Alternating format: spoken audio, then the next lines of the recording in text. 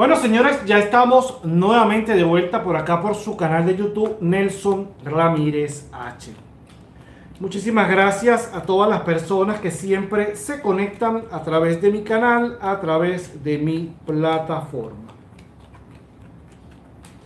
Amiga o amigo del signo de Leo, vamos a ver qué es lo que te dicen las cartas del tarot. Vamos a ver cómo nos conectamos con tus ancestros, con tu mundo espiritual. Vamos a ver cómo nos conectamos con tu ángel, tu ángel guardián, tu ángel custodio. Vamos a ver, amiga y amigo, qué nos dicen las cartas del tarot, cómo se conectan con tus ancestros y con tu mundo espiritual.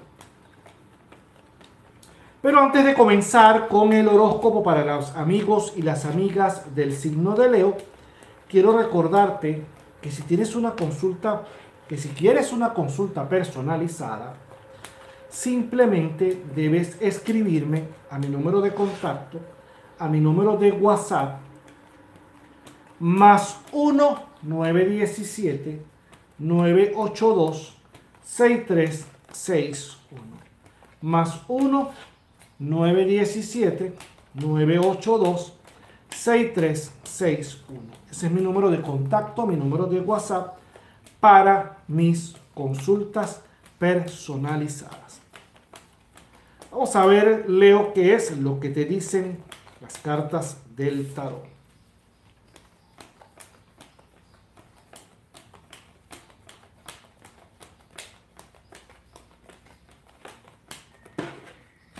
La primera carta. Tres de espada. Asociación para delinquir. Tienes que tener cuidado porque el tres de espada es una carta de alerta.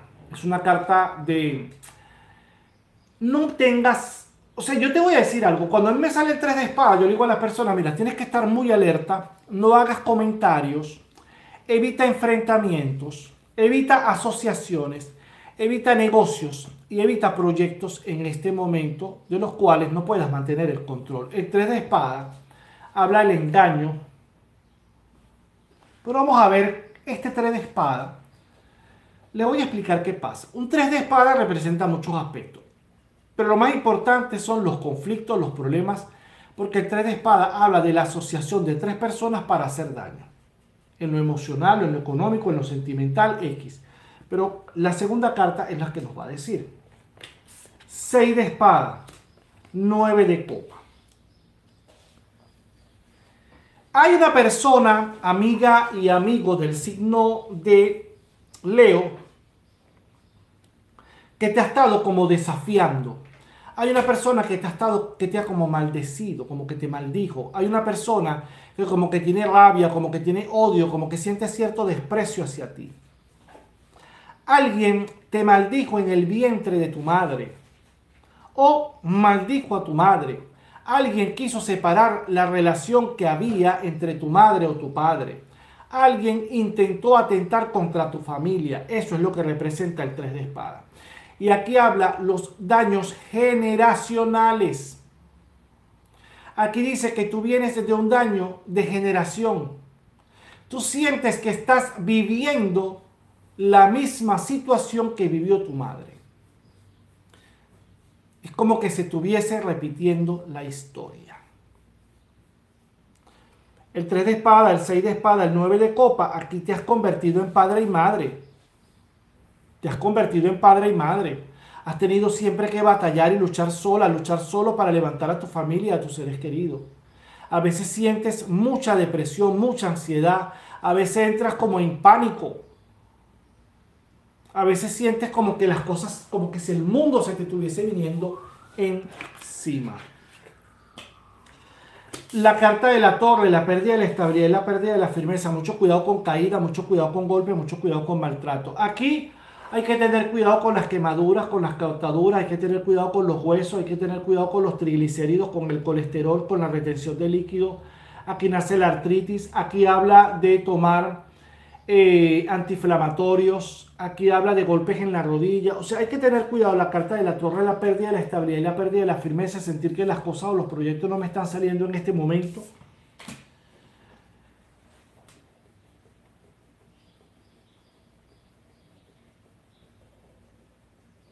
Hay una limpieza.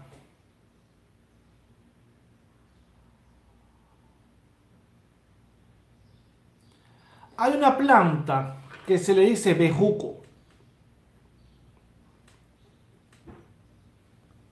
Hay una planta que se le conoce como bejuco. Es una planta enredadera que ella es parasitaria, ella se va comiendo, ella se va montando, ella nace, ella, su proceso es sencillo, ella viene un pájaro, hace su necesidad sobre la planta, sobre el árbol, esta, esta, esta semilla que cae sobre el árbol con, el, con las heces de la, del animal, hace que germine, esta planta se comienza a alimentar del árbol y comienza por bordearlo, bordearlo hasta que lo consume y se lo come. Completamente se alimenta de él. Y sigue creciendo y agarrando otros espacios. Esa planta del bejuco la necesitamos. Usted va a conseguir bejuco.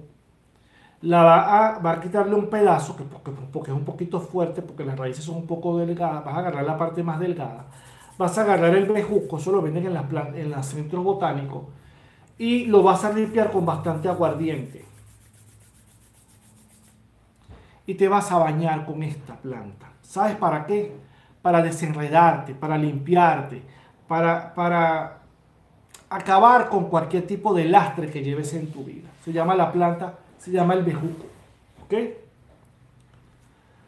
La carta del mundo, la iniciación y los nuevos comienzos, los nuevos proyectos, la carta de la reina de copas, la carta del 8 de oro, la carta... Mira que apenas hablamos de la limpieza. Hazte la limpieza para que tú veas cómo las cosas te van a cambiar. Haz de basto, reina de basto, 5 de basto. Mira, el mundo, vas a comenzar un proyecto, vas a comenzar un negocio. Hay algo, vas a comenzar a estudiar. Es más, aquí dice la empresa o la compañía en la cual usted trabaja o el organismo público para el cual usted trabaja la va a mandar a hacer un curso, te va a mandar a estudiar o te va a mandar a hacer un proyecto. La carta del mundo también dice que vas a comenzar una nueva etapa, vas a comenzar nuevamente a hacer ejercicios, a trotar, a caminar, a comer sano.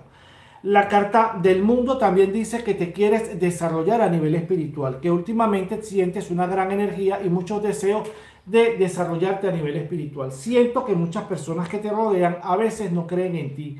Tienes que desarrollar. La carta de la reina de copas viene una celebración por parte familiar, por parte de algunos amigos, de algunas amigas, personas cercanas. La carta del 8 de oro y la carta del 5 de oro dicen que tú vas a recibir un reembolso, vas a recibir un dinero, te van a cancelar una plata, vas a ganar y vas a invertir en un negocio que te va a ir extremadamente bien. Es más, tú apenas abras ese negocio, tú vas a ver cómo se dispara, cómo vas a crecer económicamente de manera espectacular.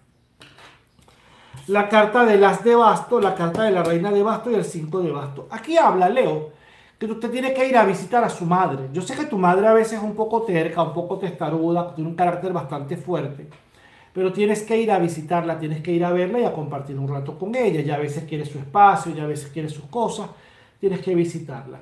El de basto también habla de que tienes que atender a la espiritualidad de tu madre o de tu abuela si está difunta. Porque aquí habla de la intervención divina. Aquí habla de que tu madre o tu abuela te protege y te cuida. Aquí habla de la bendición desde el cielo. En las de basto, con la reina de basto y el 5 de basto, dice, hay una persona en tu familia que está en una silla de rueda. Esa persona necesita atención, necesita la ayuda de su grupo familiar.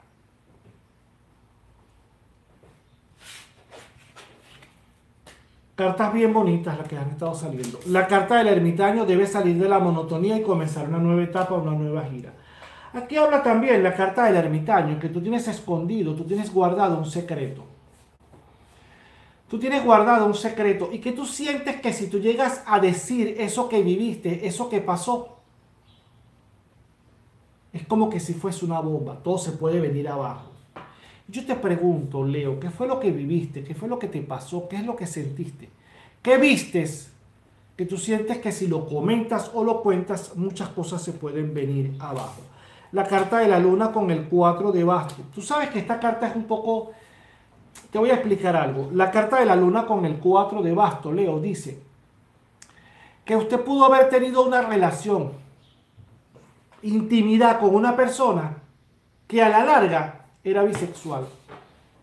¿A ti no te ha pasado, amiga y amigo del signo de Leo, que has estado compartiendo con una persona que tú piensas que de repente es hombre, pero te vas fijando que sus gestos y sus acciones no son normales?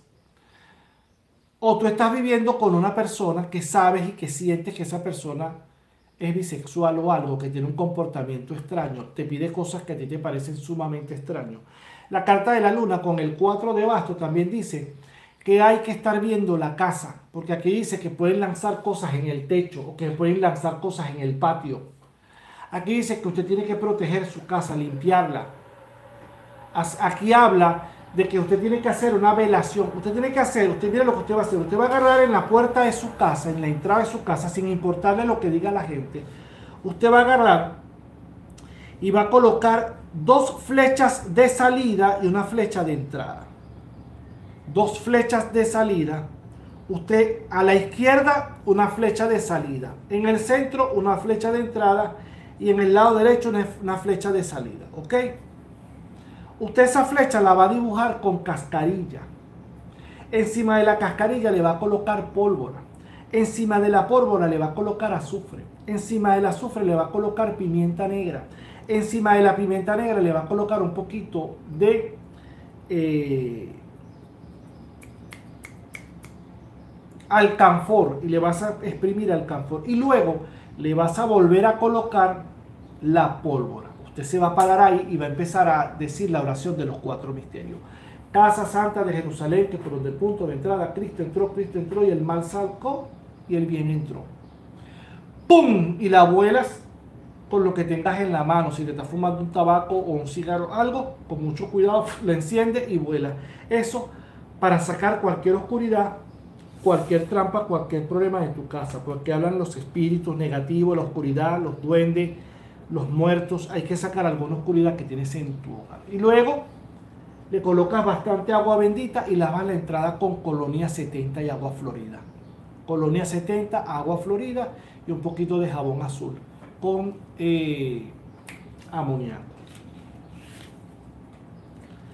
La carta de la sota de basto, tú vas a ver que tienes una hija o un hijo que va a culminar una carrera o que te va a llamar para comenzar a estudiar, para comenzar un diferente proceso. Mira la carta del diablo, la carta de la sota de oro. Tienes una hija, tienes un hijo que va a terminar de estudiar y que va a terminar un proceso, pero tienes una hija que tienes que cuidarla porque siento que algo malo se está acercando a ella, un mal hombre, una mala mujer. O sea, aquí habla que haya una persona mala o negativa que está acercándose a su hija. Tú tienes que hablar con ella. Si siente que la pareja que tiene la está maltratando, la está doblegando, la está humillando, si le está vejando, le está diciendo tú estás fea, tú no sirves, la está traumatizando. O si están dando en pasos extraños. Mucho cuidado con esto, Leo. Tienes que verificar, tienes que ver la carta del sumo sacerdote, la bendición del cielo en la tierra y la carta de la templanza. Fuiste a verte con una religiosa, con un religioso y quedaste en que te iba a hacer santo, que te iba a hacer una ceremonia, que te iba a hacer algo espiritual y no lo has hecho. También habla la carta de que usted le debe una misa a un santo o tienes que entregar algunas arenas, algunas tierras o algunas cenizas que tienes de algún difunto, de alguna difunta. la carta del caballo de basto, la carta del 10 de oro y la carta de las estrellas. Esta carta habla de que estás un poco preocupado o preocupado por la pérdida de un dinero, de una plata. ¿Hay algo que te preocupa, Leo? Leo, Leo, Leo, tu número de la suerte para hoy es el 86 11, 86, 11. El 10 de oro trata de guardar dinero porque yo veo que en cualquier momento te va a hacer falta. Guarda dinero. Cuidado si tienes alguna deuda, no has pagado el arriendo, no has pagado algunas cuotas de alguna casa, de algún terreno, de algún vehículo. Vamos a estar pendientes de eso. Tu número de la suerte, 8611. Vámonos con Virgo.